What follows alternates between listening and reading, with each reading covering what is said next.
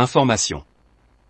Le Père des Nations l'apôtre Douflé Gabriel, désire porter à la connaissance de tous ses enfants spirituels désirant l'appeler, pour quelconques affaires, de l'appeler sur le numéro suivant, depuis l'étranger, 00228 70 06 16 40.